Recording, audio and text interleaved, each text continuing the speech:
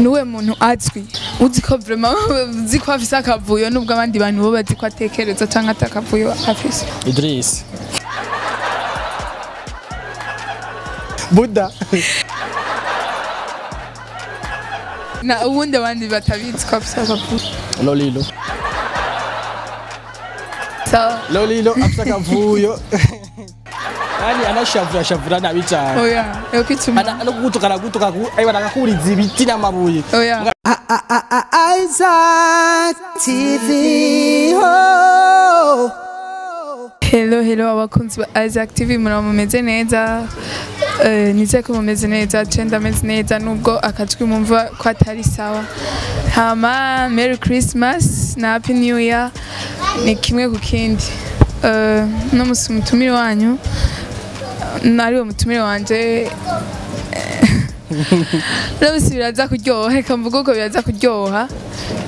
Abajournaliste babiri bahuye za kuba ikibazo big ni sawa? Ah meze neza cyane sinzi Umeze nka neza. komeze fresh cyane. Nanjye umeze neza. Donc batamuzi ninde? Big. Hey guys, reka ndamutse kwanza umutumbereye hose iyo muri ko murakora hose ni Isaac TV uh, mugiye subscribe ni kuri Isaac TV uh, usogera Black TV anyway ni big kuba abajije uh, kuva muri Black TV CEO wa Black TV gashire kurega Ah, kararyoha ah, si ndi CEO CEO ikintu gikomeye cyane gose ni eh, ninde none? ndi TV mvuga Ah. uko ko CEO ni ikindi kintu gikomeye Ah, eh. Um, kuri mikoro rero murabona ni muco santara tarita ni we muri kumwe. Band camera Juma Jux hama tutaratangura n'ibibazo byacu nta kibazo wagize ukimbona ndati uh, kizo nagize nkikubona nawe bwanze mwana mwiza atwenga neza. Nico Ah, n'ikibazo aho mbona sitaza kuvuga. Nta kwiyumvira ntabwo kumva umengo ndazi yava biba birebire ni we agazo nagize. Baje ikibazo nagize? Bose nari niteze ko ushobora kuza wambaye ipantaro. Kandi kumenyere wambaye ikabutura. Byagenze gute anyway uh, jida kudi ibitura cyane uh, sizi impamvu. Ndayikunda naje vyarancanze ushobora nkibuta nka sito canke izini jari imwe ariko ipantaro ipantaro irashasha sa iranjena kuza kwambara iki? Mugibutura nkubitu papa bwanje canke nkukwiti isupresi yanje? Eh, mvuga nagiye. Mugi ipantaro isaka hera okay ai iratani ijasho nibaza kana yatari okay Eh, ndibaza ko batangura mu rugo abashyitsi nibo barabahebera barakunda kubahebera.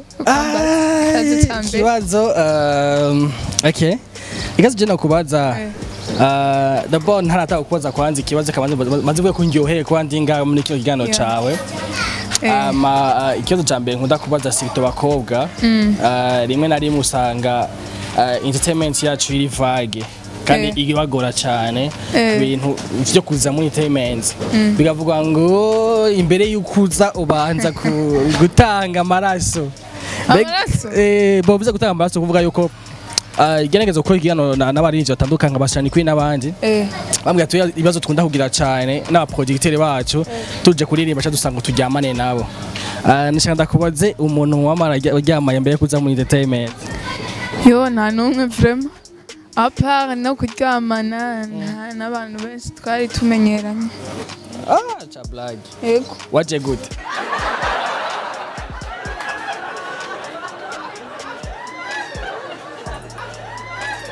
Iyi rega ni nka entreprise. Euh, on a fait appel d'offres. Yani ikibazo muri kimwe ku kindi abantu bose maze ko interview.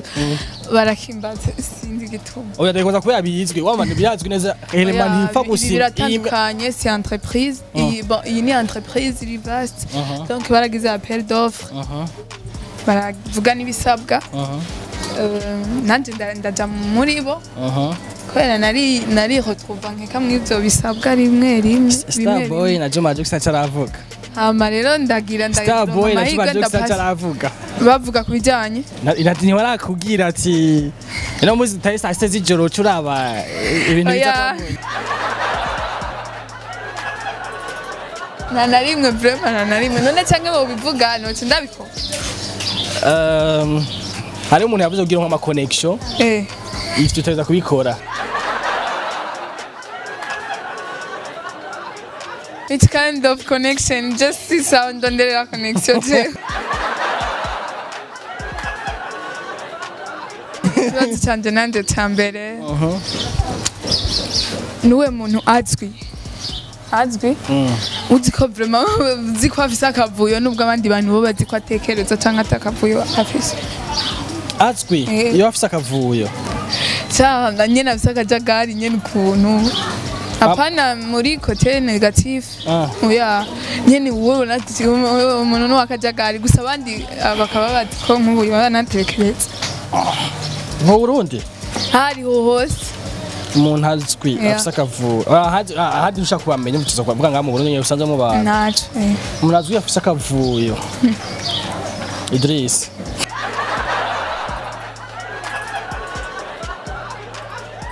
Buda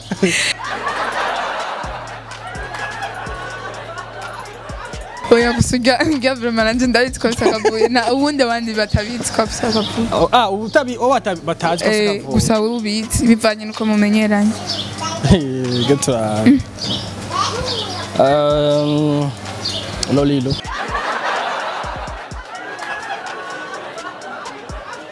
sawa lolilo afise akavuyo kandi anashavura ashavura nabi cyane oya yo kwituma ana no gutukana gutuka ayiba nakakuriza ibiti n'amabuye Oya. mugabo bwo murayaga kunyene mwana mwiza ari hamba atekereje mugabo muvugane sasa ni Eh. sasa. Eh.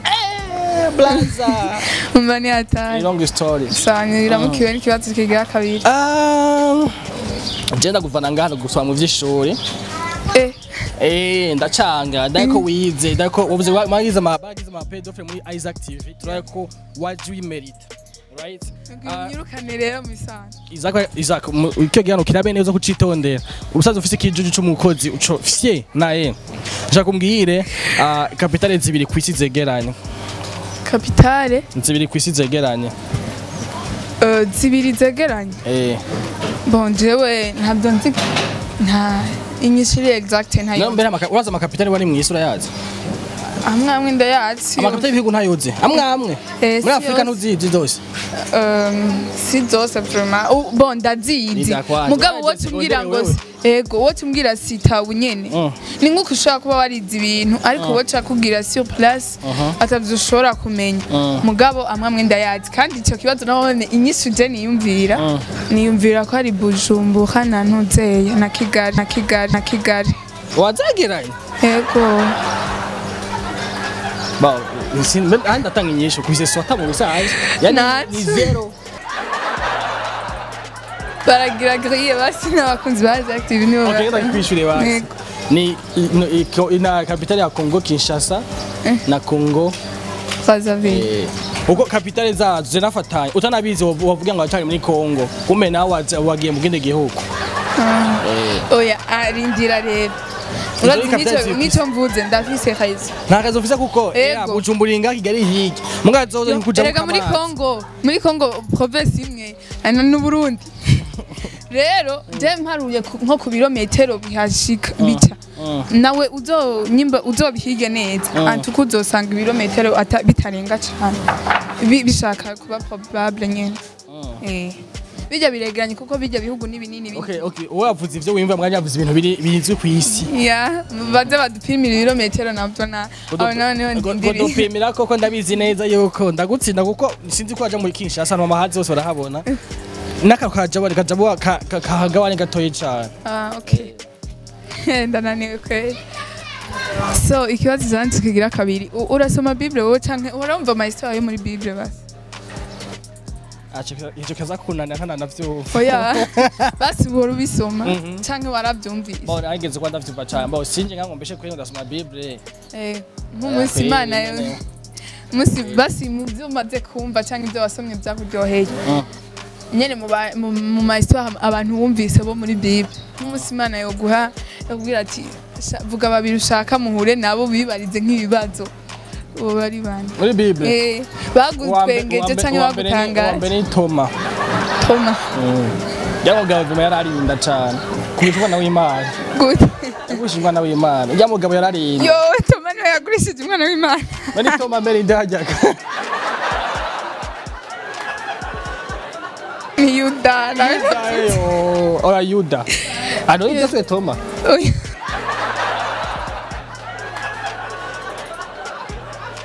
Active yanteye ubwoba cyo ndagira itambo byo nishura ari noye gusa ndabizi gusa ariko ayuda nshaka kayuda kakagabo nyene Eh, uyundi uyundi uyundi uyundi ni uh, Beni Zakayo Zakayo eh zakayo kubera umwe iki? mugufiya muri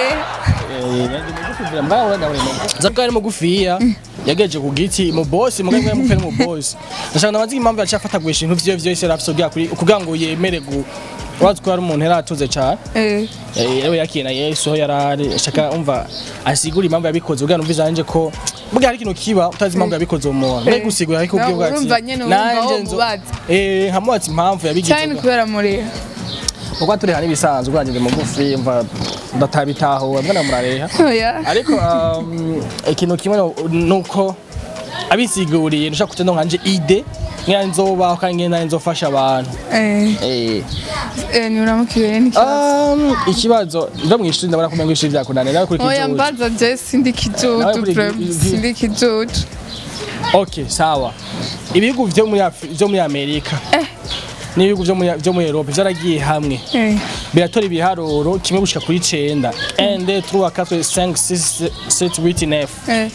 mugabo oya niki kivyemeza ko ari ibihugu vya buraya n'ivya amerika vyagiye hamwe ni- ni- ni- niko niko ama mbo niko niko vyandikwa mu bitabo Eh. kuko ya, uge- ugejeje amako sheshe ugiye kuri Google ari kwereka ibihugu vyatoye ibiharuro vyatanga gutorwa ryari ibiharuro ibihugu vyabitoye vyabitora bitora mugabo mu nyuma basanga bakagu- bakagira ngo kimwe ngo 11 10 20 ubwo no kuno barabura ingene bafixa dufate nk'ibiharuro dufate nk'igihumbi. Igihumbi amajana hano za gukenera ubusa. Eh. baba ikintu bohashira barumva ikintu bashobora habura kibura. Birabacanga hafi imyaka n'imyaka babitegura barabibura batara bivamwo mu nyuma hakiza gutorwa. Igihugu hacaza iyindi i- iyindi pays yate- yatoye ubusa. Ndashaka kumenya pays yatoye ubusa ni iyahe no but basi dufate ubwoko bwatoye ubusa ni ubwoko bwako kuko pays ubu nyine yamaze gusa kugira ubu hasigaye ubwoko Um, bon. Jewe bani imisi yose. Sinigera mbura inyishu numa ntangiye itariyo ariko kumva ati yiyumviriye. Je nibaza yuko nibaza yuko ari abajuifu Ah! abajuifu nibo bantu bazi ubwenge nibo bantu Ura- ura- ura- urabitoye wagi- uno- ukwise- oya niyo nyishu navyo navyimva mwe vraiment kariyo Sha, wala sidari wagikuye. Oya nta na hamwe wana n'ivyo uvuze vy'ibiharuro bate bagihitse nta na hamwe nawe bwavyumva mugabo wavuze ko kubera ni narefeye ku vyo wavuze ni abanyamerika. N'aba- abanyamerika n'aba n'aba ah ahubwo ntaba abanyamerika na nihenze ni Europe n'aba n'abarabu Eh, Europe n'abara Eh, no ba- Urumva, mm, abajuifu nabo bari.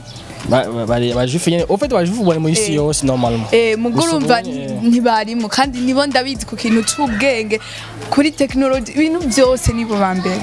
Ciye mvuga rero. Eh. Ikibazo canje kigira gatatu.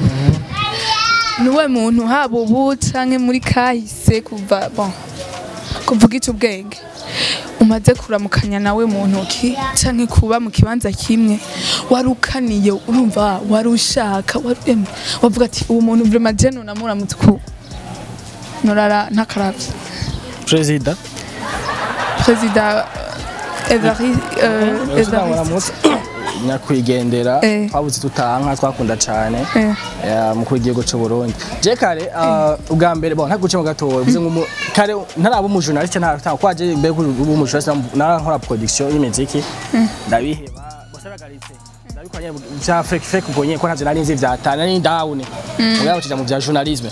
Ngeze mu vya- vya journalisme journalisme yarampuje n'abantu benshi ntazi ko twahuye nabo. Yatuye ndamukana ntushi ntazi ko ntazi ko noramukije natuye nicara abantu bakomakomeye nk'ubu ndaziye ko ntarabaye mu mu akomeye wa kera gose apana nk'ubu par exemple nuba wantumiye ndabizi. Oya none ni kubera ukomeye gusoma. ibintu. Oya hari ibintu usanga umuntu umutumira ko ufite icyo yakoze sivyo jewe yankuje abantu batandukanye abantu bankuje nabo abaje- arinenze ubona ibisanzwe kuko babona baje amatahura bang bang bang bang umvise byo twara ma chance ubwo umuntu nagewe cyane hamwe na bwacu jino munsi ubwa nkarabe mpaka debwe abantu basaya nka 10 bora mugite president namura mu kitabwa ati what nagafoto yari twarimwo akaje nayiteguriza ya president nari nayiserukiye nahise late ndadomanda yuko two tumuyoza kudufasha kudusapotinga hama ntiyanka mugabo mbaye ama procedure ucamwo apa y'ama lettre y'iki n'iki ndagenda muri ofisi yiwe washaka yampamagaye turavuga ndamusiga inkuzi ya ya uwo munsi tuyakuvuga ya bishyamba mu kici Eh. oya bamwicara rya Barashitse yabwiye biti cyane. cyane ndayicara ngaha turavuga ndamubwiye bimeze kuno kuno fresh. Je nari nzi kuza katazoza yeah. Ariko ku rukundo afise abajene ubwo ko gutera imbere na- nagiye bambwira nagiye mbona hava nk'amasaha atatu angahe Eh. abajeje protocol nka sekirite yo bambwira ati arazi oh ndamura mu kici sawa navuze sawa ati Yeah. Eh, uwo muntu yavuze ati- navuga ati naryoherewe cyane sawa. Niburamukiwe n'ikibazo kigira aha jewe ah, ikibazo mfise ni kimwe ubwo tuzi tuve tuve mu byinshi ubwo nawe kumengo yatari Ah, we ki- ukiza muri journalism ndazi sinyaka myinshi kuko ndazi wacari muto mbaye usinyaka ingahe Ndayivuga, navuga avuga imyaka ubwo oya yivuga ndayivuga oya ndayivuga Eh, ahubwo umpaye mwe na opportunité. La fois passée bakimbagije ndavuga ko mfise 18 ans. Niyo mfise 18 ans. N'ababipinze. Muze muze ndabereke extrait canke Ah, babipinze? eh mu ma commentaire ngo ngo yangureka kubesha mubimenye. 18 ans. Wajeshe ujya ubu mwaka nyene nyene uhejeje uhetse. Ah ntugiheza yeah. Cumi n'umunani. Sha ntaranonekara vrema buda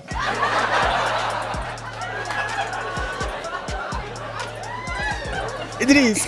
Anyway uh, waja muri journalisme okay 18 okay je maze imyaka itanu itatu 2020 maze 5 muri journalisme we nawe umaze umwaka umwaka nturakwiye suko nameze n'igice cy'umwaka ntikirakwiye n'igice cy'umwaka ntikirakwiye. Gusa hari ibindi nagize Oh, ivyo maformation ndabizi. Ah, amfa journaliste ndabizi. Hari yaye muri UNICEF. Anyway um, ukiza wifuza kuba nkande. Nifuza kuba nkandi ikibazo ca kabiri uh, nuwa mujournaliste ngaha mu bundi ukunda cane Mm, wifuza kuba ba wifuza kuba nkande hama nuwa mujournaliste mu bundi ukunda Ehm, jewe nashatse kuba jewe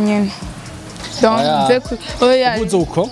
Iyo iyo response iyo niyo kunda kuyiha benshi kugira ngo nyine ntavuge. Ariko Oya. mugume ngaho onye ntubu ivyo bi- bi- bigira abantu atazi ico barondera. Murazi ico arondera afise umuntu yihefera erega. Nda- ndafise ndazi ico ndondera. Mhm.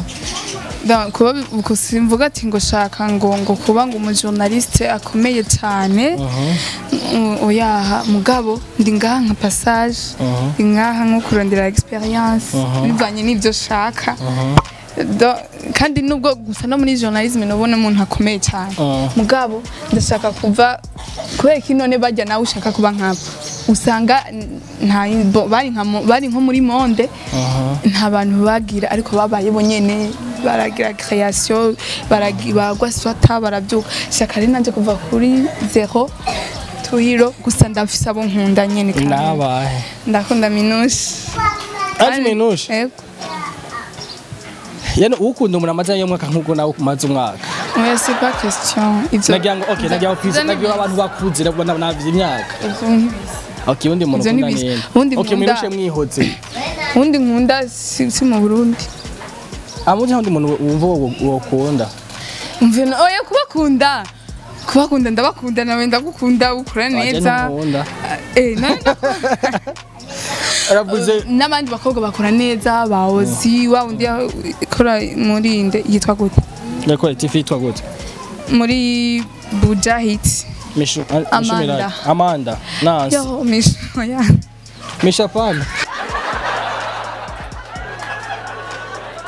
mishu naragawe je mishumira Eh, gusa. Ariko misha arabizi. Arabizi akora neza cyane. Misha respect to her. ariko wambajije ikiyazo cereke nawe nawe wagiye ntucumbaga umviriza ntucumbaga harigeze wambajije kare mishu c- c'abantu uzi eh, babazwe bafite akajagari. Eh. abantu nabagiye mishu ujya ni we mu bakobwa mu bahungu ni Idrisi mu bakobwa ni mishu ya.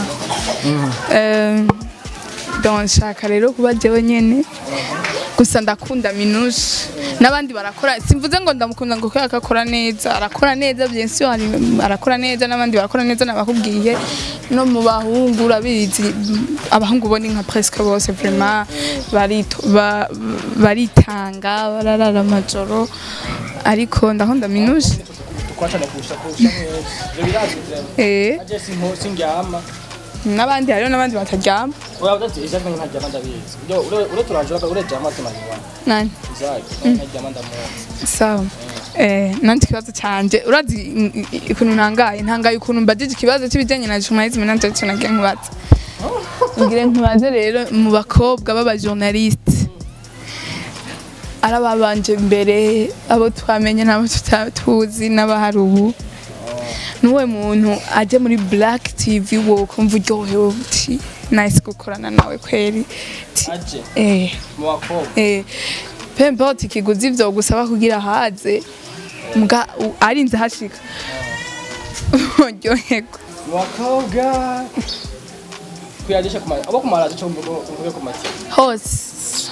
Journalisme en general ndafite ingorane namaze ku namaze kuba stress mara ah, like abawutega baje aho baje sinkibizera cyane kuko n'abantu. Nubwo tumaze gukoresha abakobwa benshi. Bose araza ukamenya kandi uwamama yamwe arashaka umushahara umeze neza. Tuba kure mu mushahara uronka nta ariko ah, gusakuza amezi abiri atatu. Rimwe nakuza simbere nta muntu arakubwira ijambo. Ugasanga ko yamaze kubona ko amaze kuboneka cyane kuri kamera tutakuronka inoti z'aba- z'abadiaspora hariya cyangwa inoti za like ngabatse kuba umusitari ikintu na kimwe Eh. usanga gukasa kwa mengo sinzi.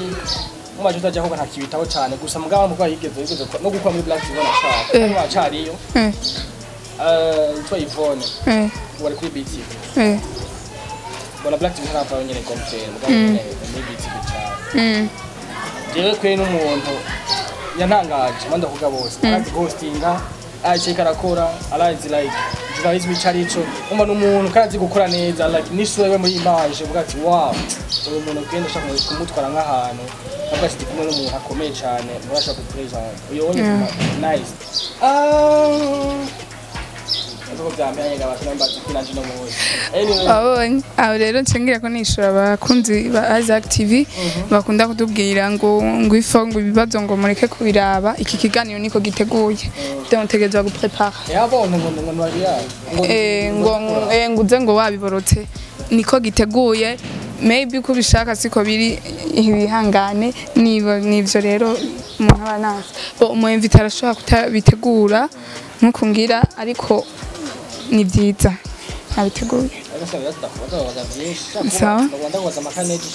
Eh, mbaza.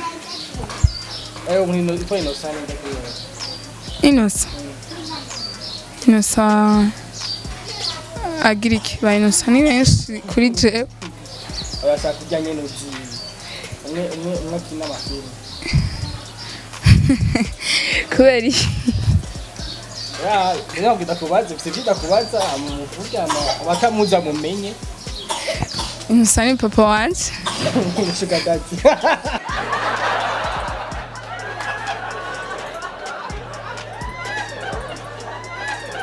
oya eh, oya inosa ni papa wanje niko wabonye poste nagize ngo monshu no ni papa wanje zaho ndaje ibibazo biraheze Eh, ikibazo eh, bibiri.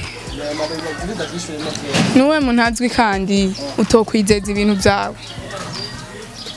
Like nyimba ari inzu utomusiga mu nzu eh, uvuga ati je ndafise ubwoba kweri nubwo ntazi neza ko vyohava vyononeka ndafise ubwoba. Frima waba usanga inzu igaruka.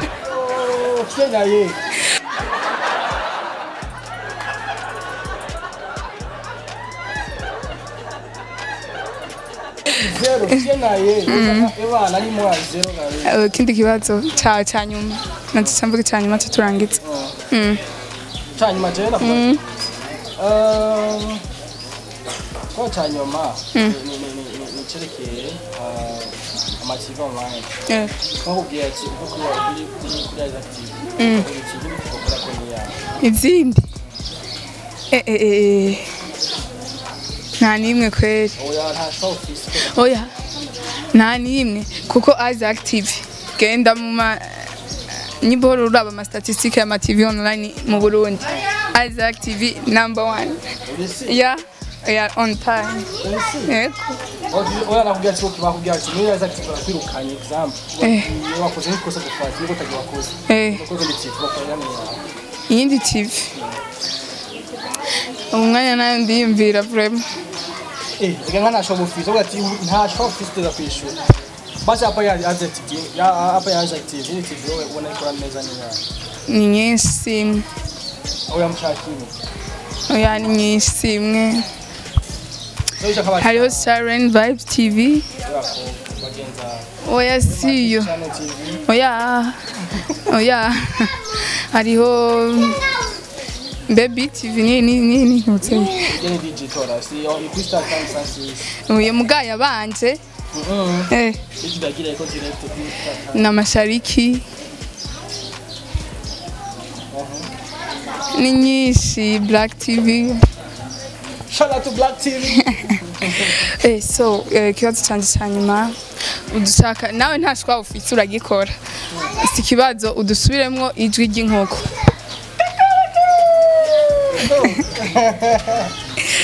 Ah kuragura uko yamaga Eh, nuko isake zo eh, hari isake n'inkoko kazi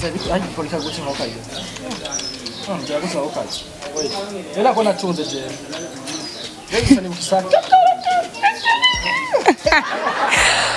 so bigire kati ndagushimire cyane twabanye neza mu kiganiro urakoze. Ah, merci beaucoup. Ah, nari ndashimye cyane kuba banyiyumviye kuntumira mu kiganiro cyanyu. Ah, na staff yose muri entre amazina y'ukuri bigi bigi je numva umenga is not enough? Eh, ni giwa irindi ryose Ega si bigi bigi y'ubunini rero abantu baranyica jewe ni bigi eh. B i gezwi na y game ni je eh igi- bon igikirundi amazina yose ikeze tuyikeze bigi okay. Sawa. Eh, abakunzi ba Isaac TV numva neza ndi kumwe namwe ndabakunda cyane muryoherwa na kimwe ku kindi kuri mikoro yari muco sante behind camera Juma Jux Merry Christmas and Happy New Year love you Isaac TV. Oh.